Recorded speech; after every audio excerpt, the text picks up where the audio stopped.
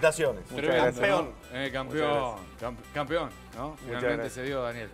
Sí, sí, la verdad que es un logro para todo nuestro tenis que tantos años hemos, eh, nos hemos comprometido mucho con esta competencia, siempre estuvimos ahí cerca, creo que Argentina se lo merecía. Porque eh, siempre el tenis en, la Argentina estuvo bien posicionado eh, a nivel individual en el mundo, faltaba esta historia de, de, equipo, ¿no? Eso que tanto nos gusta a los argentinos, que nuestros equipos triunfan en cualquier disciplina y como decías vos, le faltaba al tenis. Una, disciplina que eh, vi las Claire, una cantidad de muchachos impresionantes, todos jugaron Copa Davis y ninguno, ninguno había podido ganarlo. Sí, tenemos muchísimos jugadores y, cuerpos técnicos que, han dejado todo, que le han metido mucha pasión y mucho compromiso para, para lograr este, este objetivo. Y creo que todos hemos aprendido de, las buenas y de las malas. malas. Exacto, y creo que todavía hay lugar para, para mejorar pero el haberlo logrado es como que nos llena de, convicción y de entusiasmo. ¿Qué aprendiste de ciclos anteriores que pudiste llevar a cabo ahora? Y yo he tenido la oportunidad de compartir varias series como asistente del capitán Gustavo Luza, como entrenador de José Acasuso cuando se llegó a la final en, Rusia. Y bueno, todas esas experiencias... Que ahí Chucho perdió el quinto punto. Perdió el quinto punto contra Safin. Contra Safin. Eh, esas experiencias creo que ayudan mucho, ¿no? esas vivencias del, ver cómo se manejan los jugadores, los cuerpos técnicos, los, distintos equipos de trabajo, los entrenadores de los jugadores que van.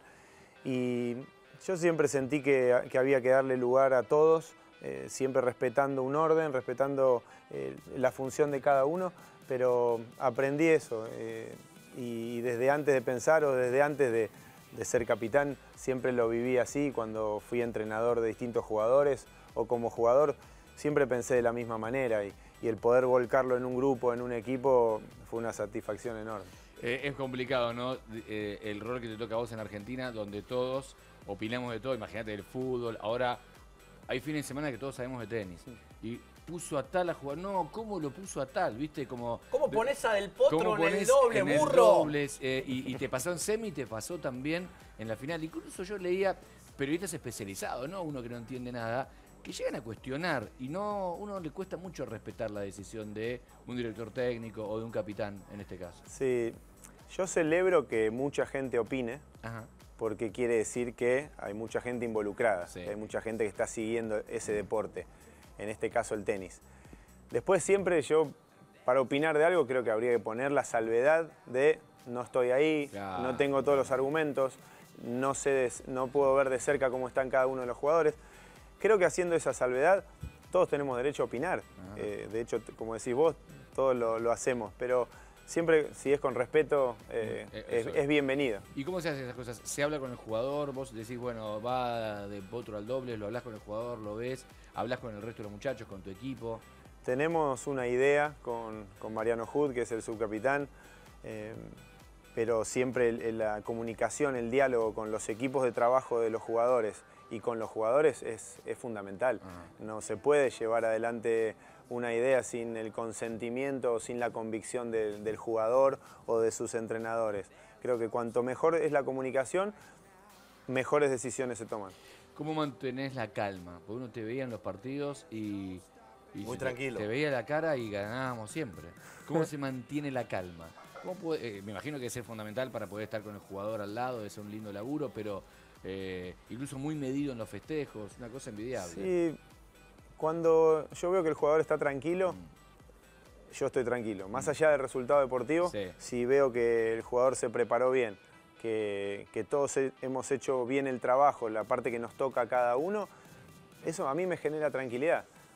Quiero, ganar, sí, quiero ganar como, como, cualquiera del equipo. Este es un grupo muy competitivo. Mm. Eh, les digo siempre a los muchachos, para mí somos los número uno en ilusión. Mm pero todo creo que lo más importante es cómo uno se prepara, cómo uno llega a la competencia. Después son muchos factores lo que determinan si podés ganar el partido o no. Pero a mí lo que me da tranquilidad es, justamente esa, buena preparación. Somos los número uno en ilusión, es buenísima esa frase. Eh, eh, ¿Eso decías, eso les decías? Sí, sí, pero es que es así. Es que no creo que otro equipo, eh, llegando a las instancias finales, eh, siente lo que sentimos nosotros. Creo que ese deseo que tiene cada uno de los jugadores por sí mismos, por representar al país, nosotros como cuerpo técnico por querer ayudarlos, yo sentía, siento eso.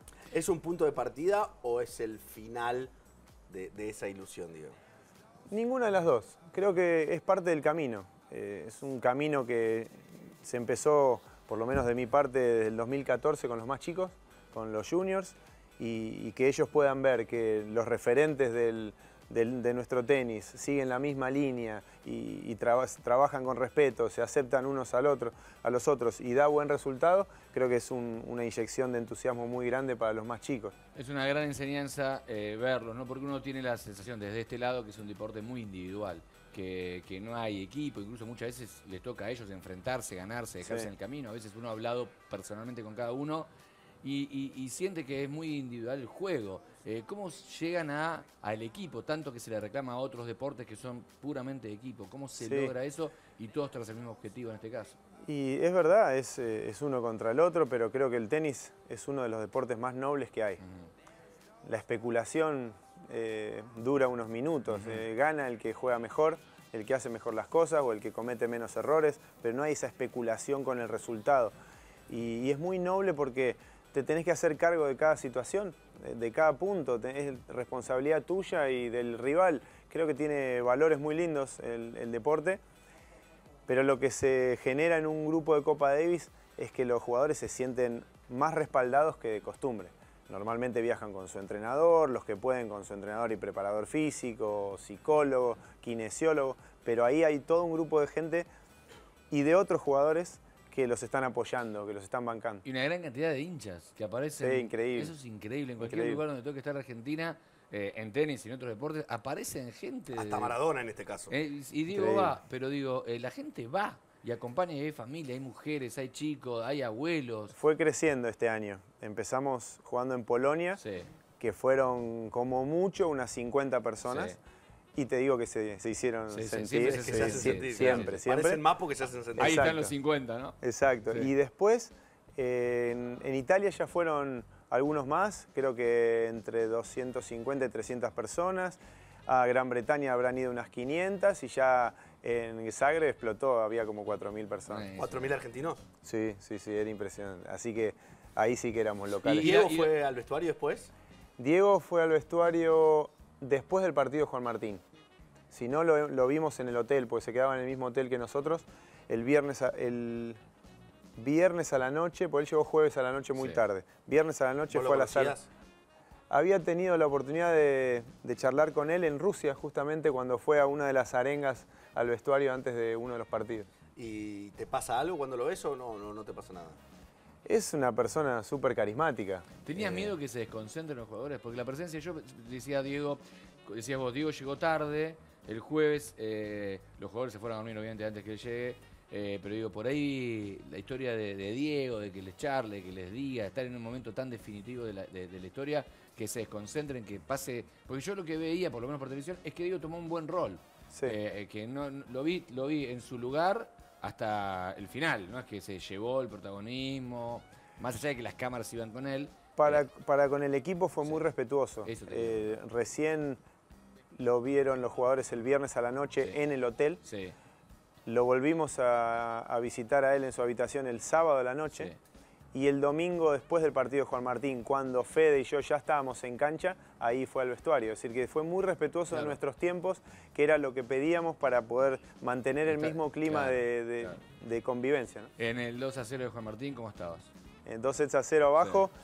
Y enfocado en que él iba tener una reacción. Era, muy raro que, el tercer set fuera como el segundo. Era muy raro porque tiene un corazón enorme, tiene mucho tenis y, la reacción iba a estar. Después, si iba a perder en tres sets o iba a perder en cuatro, en cinco o ganar... Pero por lo menos reaccionaba.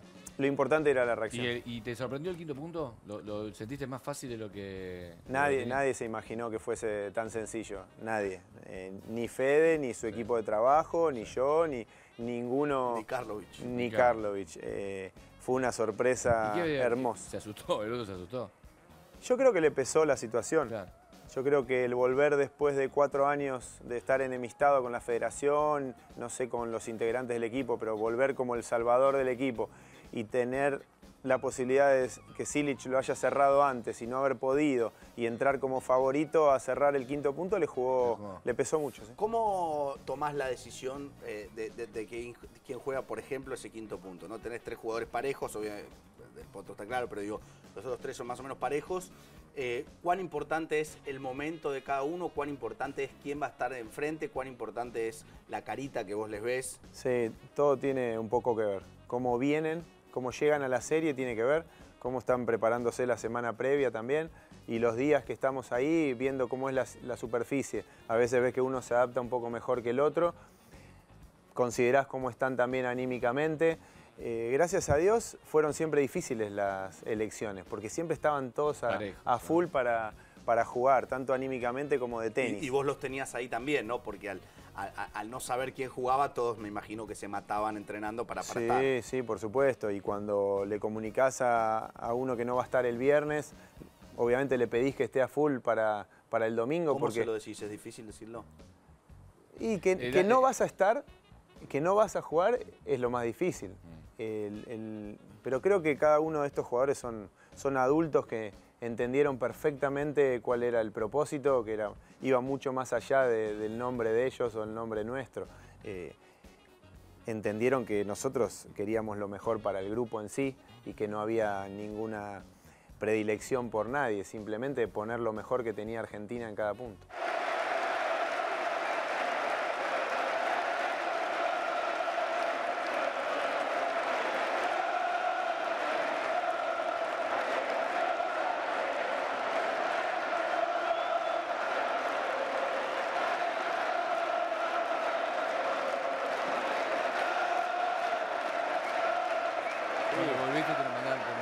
Mostraron en un teléfono y sí, me emocioné mucho. Eh, ¿Toman dimensión cuando están allá de lo que pasa eh, aquí en Argentina? Porque ustedes están allá defendiendo, jugando punto a punto. ¿Toman dimensión que el país, de verdad, eh, todos los programas, toda la gente, se te subías un taxi, te subías un bondi, la gente hablaba de hay que apoyar a los pibes, hay que ver el partido, viste tal punto, viste la gran Willy, viste todo eso. ¿Toman dimensión? No, yo prefiero no. ¿Y cuándo te das cuenta? ¿Cuando volvés? Cuando termina, cuando termina y uno empieza a escuchar los comentarios, pero yo elijo mantenerme bien al margen mm. de los buenos comentarios y de los malos, mm. porque estamos todo el día trabajando, estamos todo el día en cancha, después hablando de cómo los vemos, qué es lo mejor para hacer, manteniendo ese clima de, eh, trabajo y no hay tiempo, elijo no tener tiempo para, eh, para escuchar los comentarios. ¿Qué cosas te emocionaron? ¿Esto te emocionó? ¿Qué más?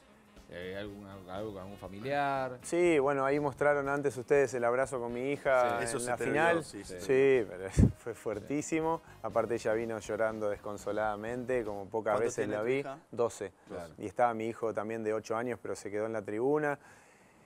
Sí, el abrazo con mi mujer, el, el ver a, tanta gente ahí gritando dale campeón después de tantos años de querer... Por primera vez en la historia. Por primera vez eh, el pecho nos retumbaba, era muy, muy emocionante.